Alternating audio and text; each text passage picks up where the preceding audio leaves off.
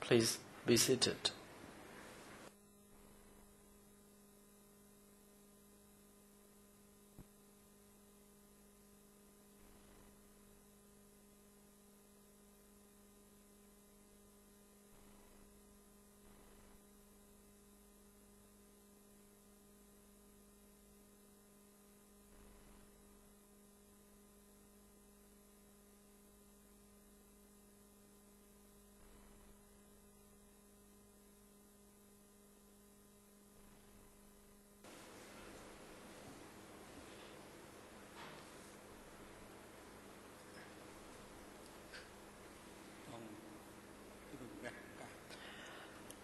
The chamber is now back in session.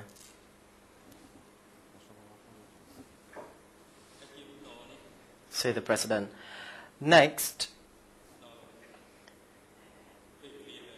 it comes to the time when the accused and his defense counsel uh, have an opportunity to respond to the opening statements made by the co-prosecutors. Yesterday, the chamber received a letter from the defense counsel who requested that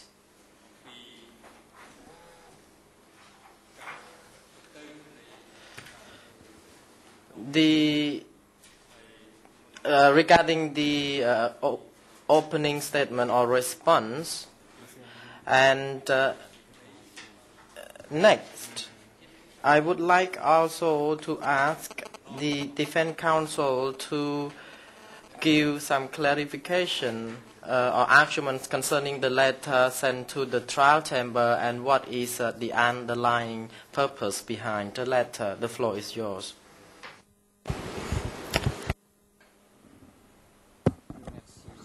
Mr. Ho. Thank you, Mr. President.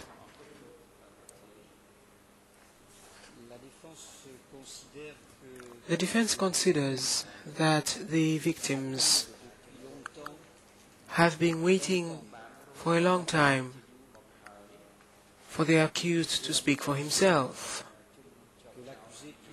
The defense wishes that the accused be afforded the opportunity to speak now. After that, the defense will decide whether the lawyers for the defense have something to add. First, however, we are seeking leave from the court so that the accused will be allowed to speak for himself.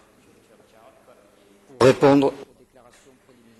in response to the opening statement of the co-prosecutors.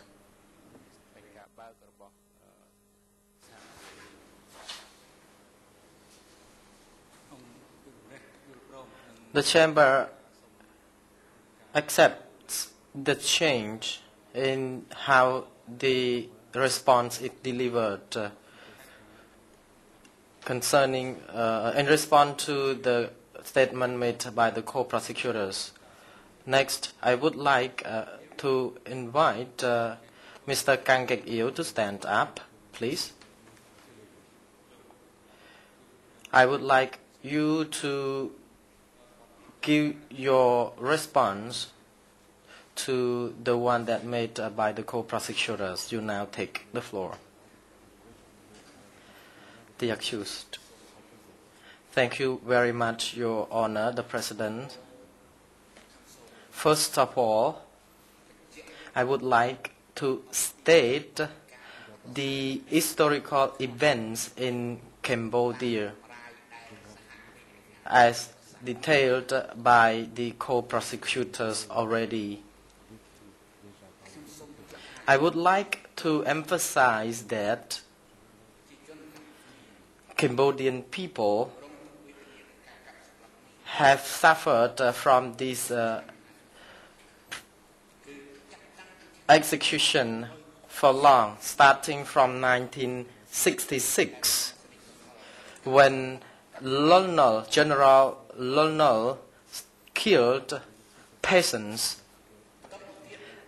Later on, the coup d'etat on the 18th of March took place, and all political parties competed uh, in the race to kill Cambodian people until the 17th of April 1975, when these crimes have been uh, were uh, fallen exclusively to the Democratic Kampuchea regime.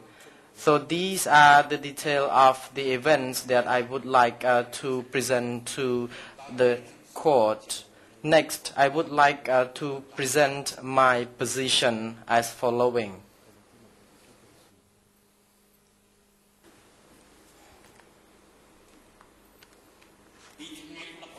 From the 17th of April 1975 to the 6th of January 1979, the Democratic Kampuchea Party was exclusively, exclusively in charge of the crimes in Cambodia. The ample evidence, or the main evidence, is the statute of the party of 1976. The first page of that statute states that after the leadership of the democratic Kampuchea and with the achievement or successful achievement on the 17th of March, uh, April 1975, the Communist uh, Party of Cambodia led uh, the socialist uh, regime exclusively uh, in all fields.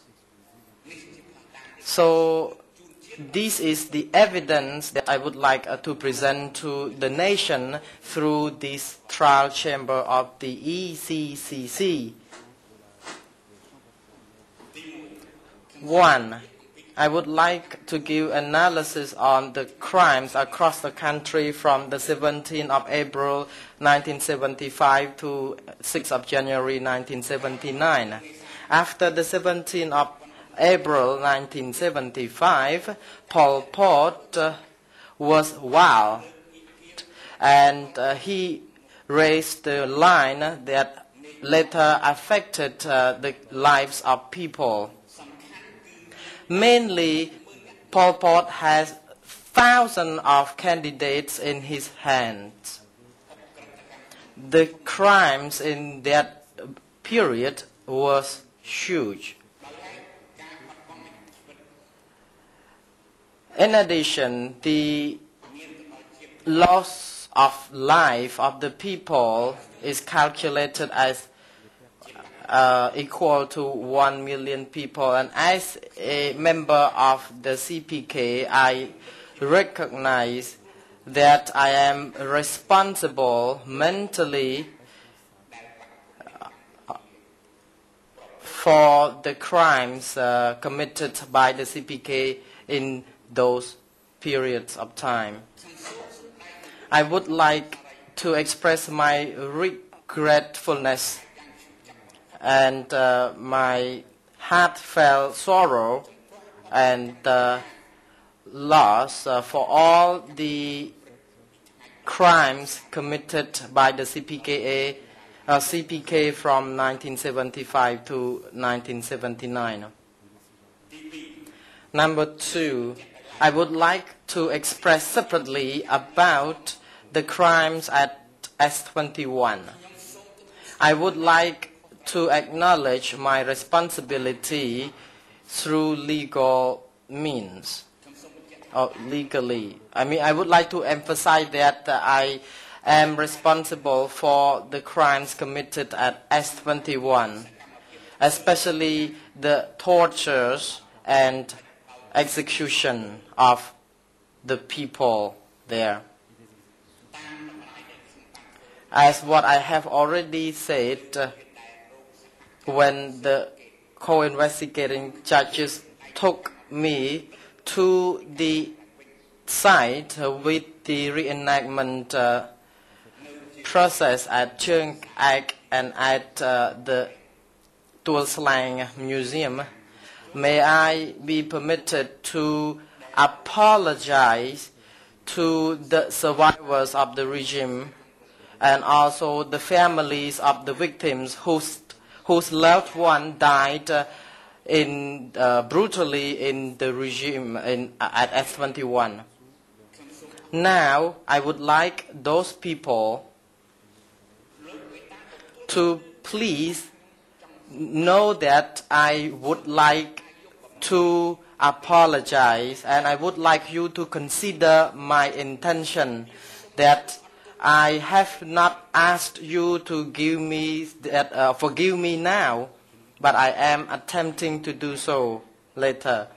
I know for sure that the, my crimes uh, committed on the people, including children and women in particular, are the crimes, the serious crimes that cannot be tolerated. So my current plea is that I would like you to please leave an open window for me to seek forgiveness. Third, the regretfulness of mine remind when I recall the past, I am very shocked. Whenever I recall the activities in the past, especially those under my uh, supervision and that I order for the implementation of such activities which affected many innocent uh, people, including women and children. Although I did that because I received the order from Angkar, but I am solely responsible for those crimes. I already informed the co-investigating judges that I am just a scapegoat and a person who were put to play the role, uh, the, uh, to play a role of killing in that regime. People regarded me as a coward person and a person with unjust uh, act, and I do accept all their arguments. In those regimes, uh, those times, I regarded the lives of my family uh, more important than those who were detained at S21. To challenge the order from the top, although I know that the order was criminal, I never dared to even think about it. So it was the life and death situation of me, myself, and my family as a whole. As the person who was in charge of S21, I never attempt to find other alternatives other than uh, obeying the orders. Although I know that obeying the order meant that lives of numerous people would be perished. And now I am very regretful and I'm very shameful. And uh, I myself, I know that uh, I committed that crimes and uh, I have been shameful and uh, in the eyes of people who are victims and those who lost their loved ones during the regime and including my families who lost uh, members of uh, the family also.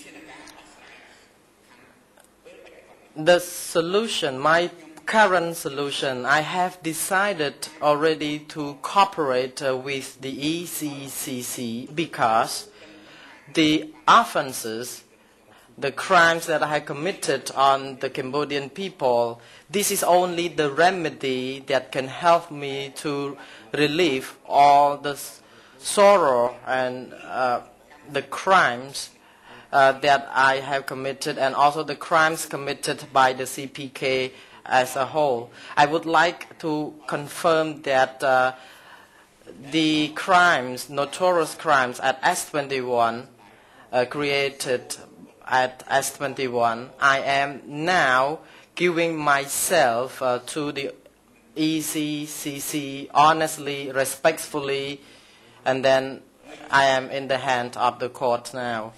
Finally, I would like to state that I am still continuing to cooperate with the ECCC in hearings, and I will answer all questions you may uh, ask me in the court, and will answer all the questions that the co-prosecutors may ask me, and also the questions uh, posed by the civil parties, and based on the evidence.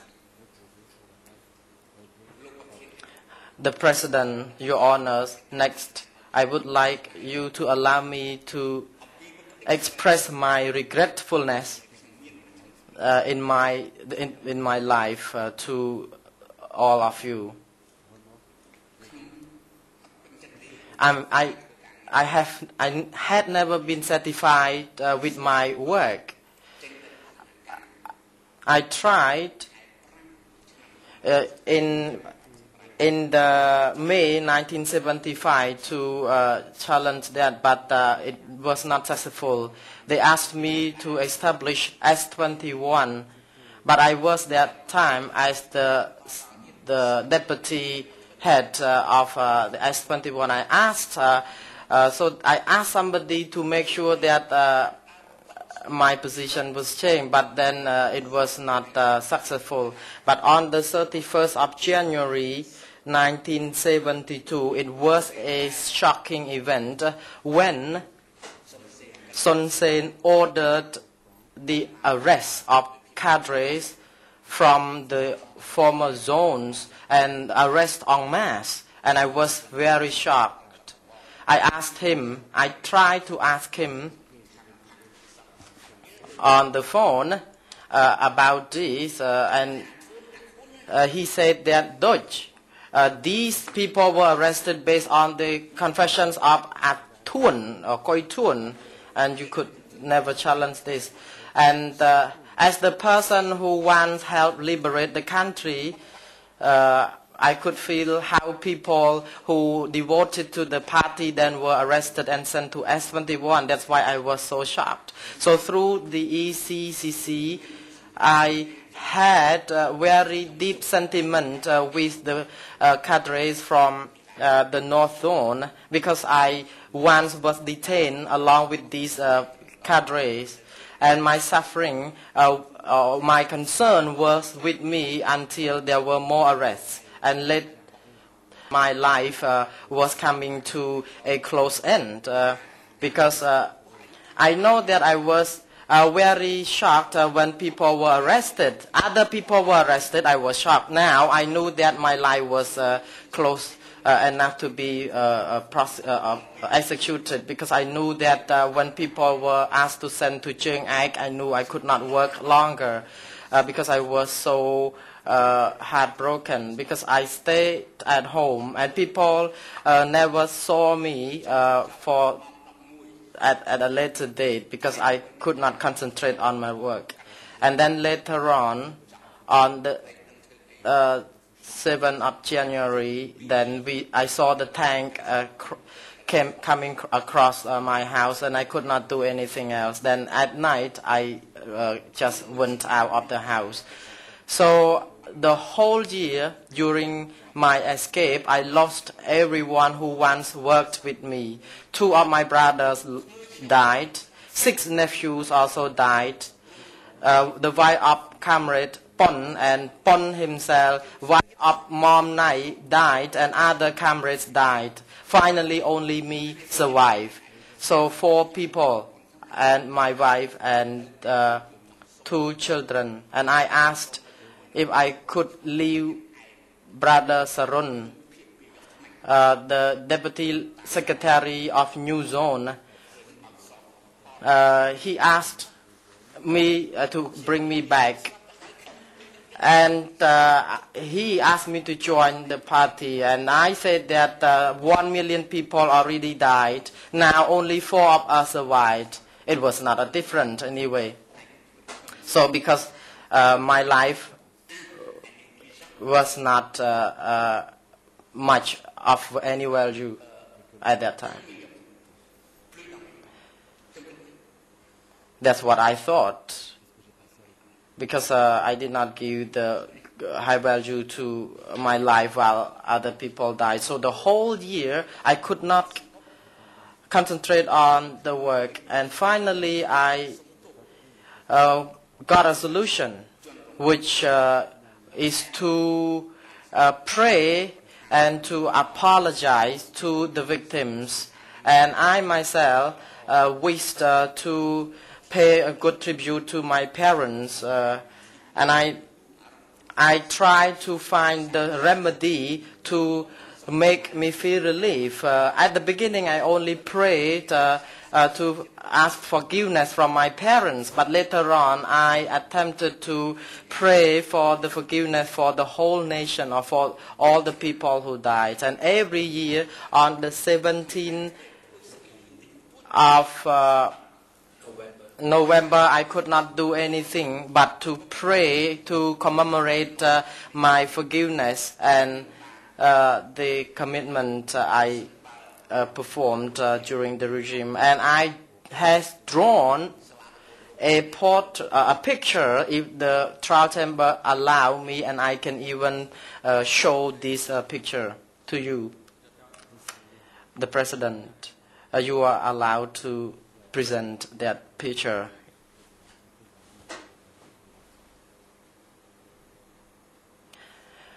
The inter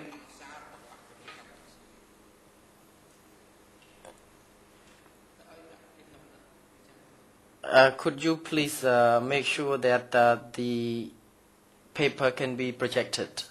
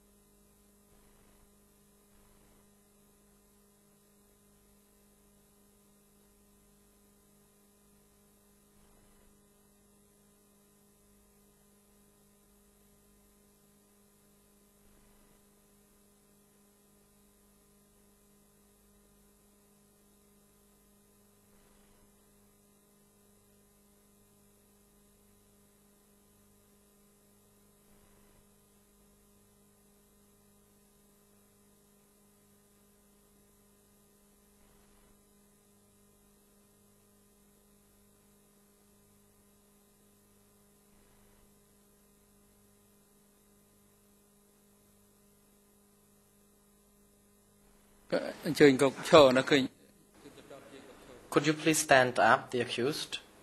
says the president. Please continue.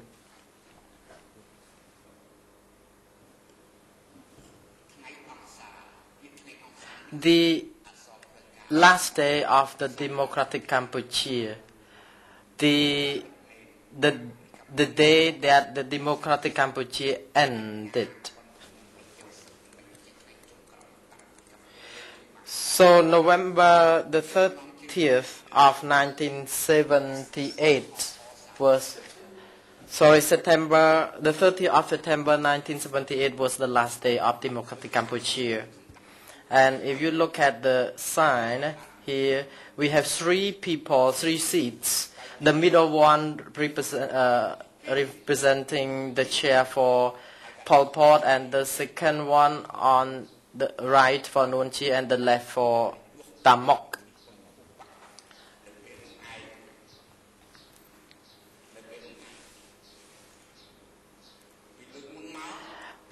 Uh, during the previous days, uh, when there was any anniversary of the DP, uh, CPK, only Nuon Chea was alone, but later on there was three people. So here, uh, the uh, what Pol Pot said was that the good or the proper line is the successful line. And uh, I wrote that what um, Tamok impressed. He said that nothing is on top of me.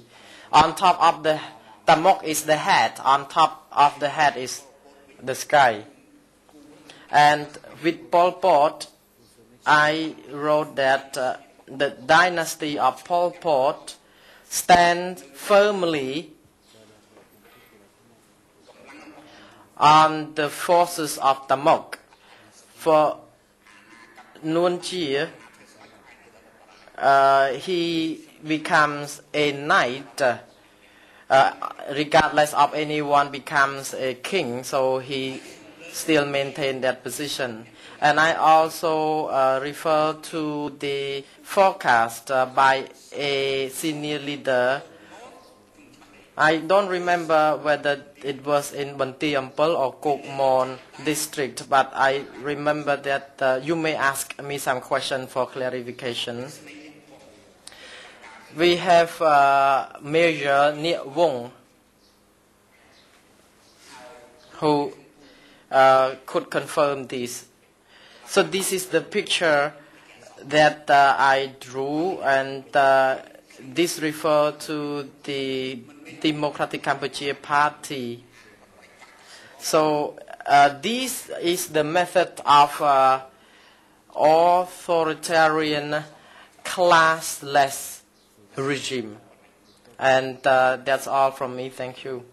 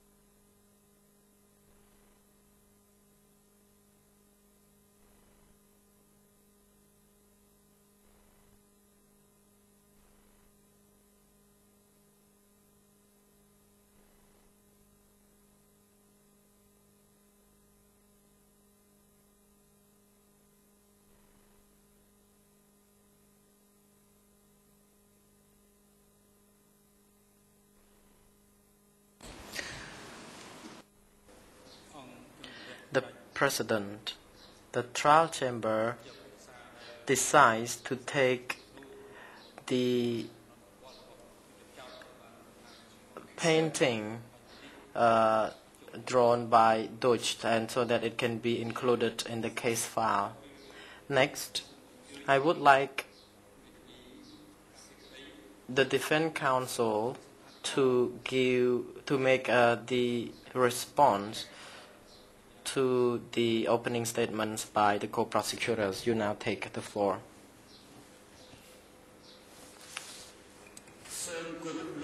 Mr. Kar Savuth, Your Honors, the President and the whole court, I am the national lawyer for the accused Kaing Guek Eav, alias Duch, who has been charged of crimes against humanity and the grave breaches of the Geneva Convention of the 12th of August 1949 and the breaches of the 1956 uh, Penal Code, Your Honors.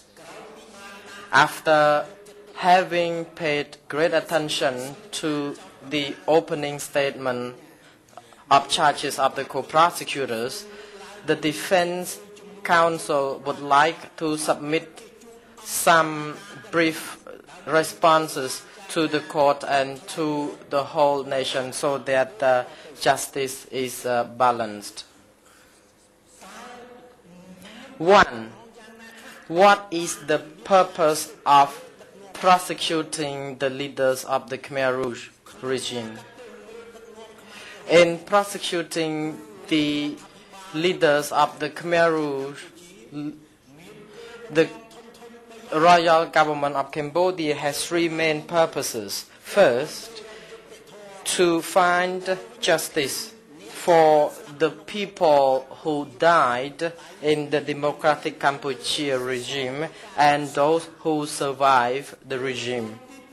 Number two, to prevent this notorious regime be introduced again in Cambodia territory the second time.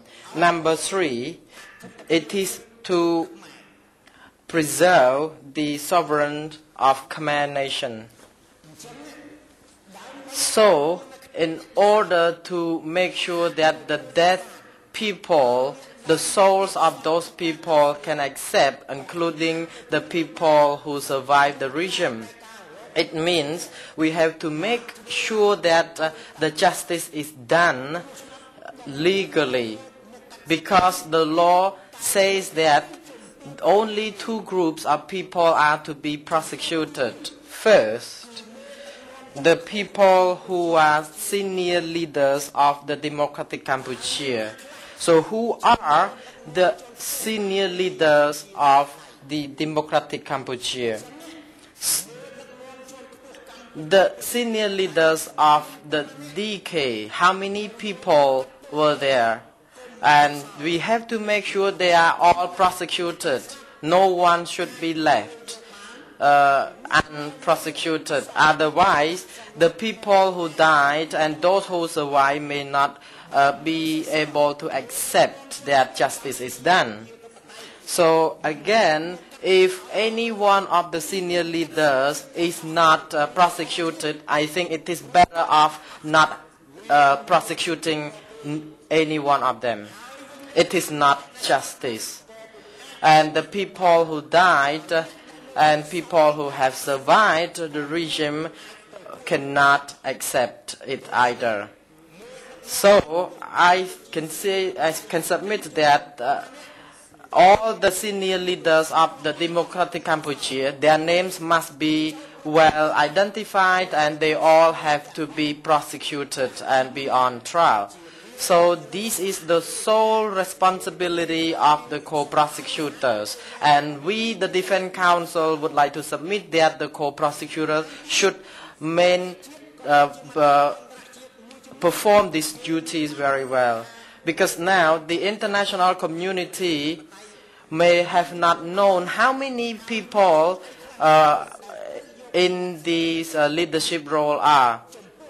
So for the senior leaders of the Democratic Kampuchea who died before being tried, I would like the court also to issue a judgment to end or to terminate uh, that uh, action.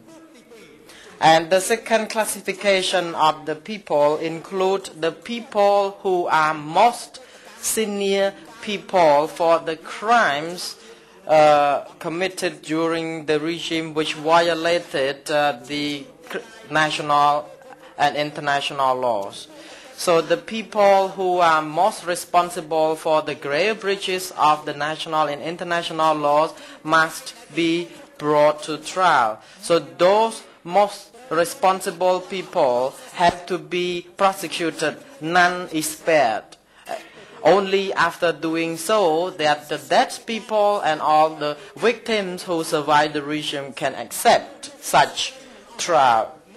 Otherwise, if any one of them remains unpunished, then it is not justice never be done. So as I told you, it's better not to trial anyone other than try, trying some but leaving the other at large and uh, people who died and uh, the victims may not accept it.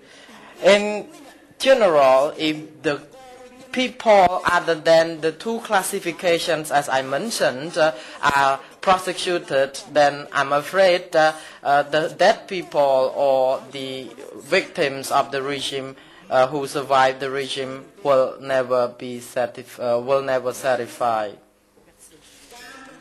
Also, without identifying the names of people who are most responsible for the crimes and grave, breaches of the international and national laws, I think it is really uh, uncertain because it gives some kind of suspicion to the people who were Khmer Rouge soldiers or Khmer Rouge people that uh, this generates some kind of atmosphere of fear that other people would feel they would be arrested and prosecuted. So the people who were most responsible for the crimes must have their name listed. No one should be spared.